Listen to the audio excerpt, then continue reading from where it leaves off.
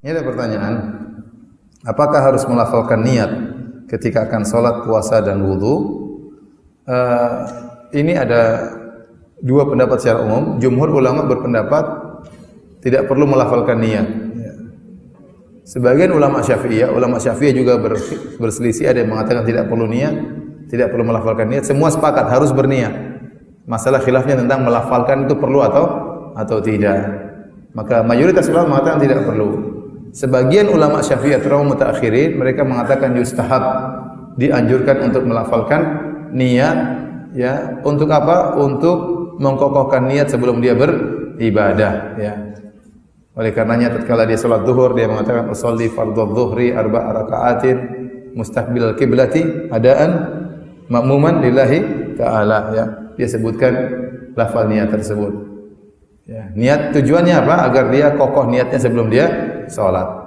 Ini pendapat sebagai ulama syafi'i ya, yang belakangan. Tapi pendapat yang lebih benar adalah tidak perlu melafalkan niat. Kenapa? Karena kata Nabi wa khairul huda huda Muhammadin sallallahu alaihi wasallam. Sebaik-baik petunjuk adalah petunjuk Nabi sallallahu alaihi wasallam. Sebaik-baik cara salat adalah cara salatnya Nabi sallallahu alaihi wasallam. Dan Nabi salat begitu banyak salat tidak diriwayatkan sekalipun Nabi pernah melafalkan niat dan para sahabat ribuan sahabat mereka solat tidak pernah diriwayatkan mereka melafalkan niat tidak ada nabi melafalkan niat jangankan dalam hadis yang sahih dalam hadis yang dhaif pun tidak ada jangankan dalam hadis yang dhaif hadis palsu pun tidak ada nabi pernah melafalkan niat maka yang sebaik-baiknya kita mengikuti tata cara salat Nabi SAW. Namun kalau ada saudara kita yang melafalkan niat, kita katakan dia mengikuti pendapat sebagian ulama. Ya. Namun saya ingatkan bagi saudara-saudara kita dari madhab syafi'iyah yang melafalkan niat, syafi'iyah juga ada dua pendapat ya. Saat ada yang mengatakan tidak perlu, ada yang mengatakan perlu. E, perlu dia ingat, kalau dia melafalkan niat, maka dia tidak perlu keras-keras. Ya, tidak perlu keras-keras. Karena tujuan dia melafalkan niat itu bukan untuk kasih tahu temannya, bukan.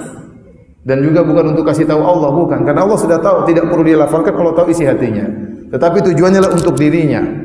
Sehingga waktu dia melafalkan niat adalah supaya dia tahu ini solat apa, saya statusnya sebagai apa. Maka tidak perlu keras-keras. Usolli fardhu dhuhr. Enggak perlu. Tetangganya bilang saya juga sudah tahu sama saya juga salat zuhur. Tetapi kalau dia ingin melafalkan niat sebagai madhab syafi'i dengan pelan-pelan saja. Usolli fardhu dhuhr. Untuknya mengkokohkan niat dia karena tujuannya untuk dirinya. Bukan untuk kasih tahu tetangganya, bukan untuk kasih tahu Allah. Allah sudah tahu. Tetangganya pun sudah tahu kita sholat zuhur, enggak usah bilang-bilang. Saya sudah tahu juga empat rakaat.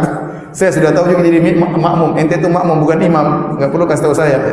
Oleh karenanya, tatkala seorang melafalkan niat sebagaimana pendapat ulama Syafi'i yang mutakhirin, maka cukup disirkan.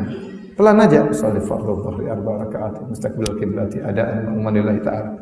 Ya.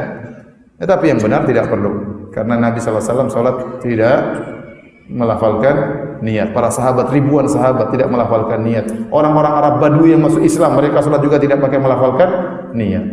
Jangan ada yang bilang para sahabat kan sudah alim, kita kan orang awam. Orang Arab Badui juga yang baru masuk Islam tidak pakai lafal-lafalkan apa?